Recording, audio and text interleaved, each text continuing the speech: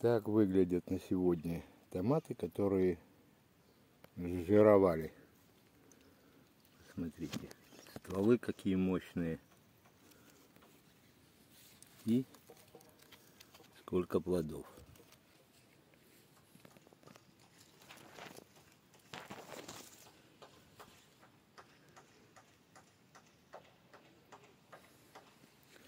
Так плохо или хорошо? Жирующий томат на начальном этапе. Это как ребенок. Плотненький, кругленький, а потом вытягивается и становится худеньким и длинненьким.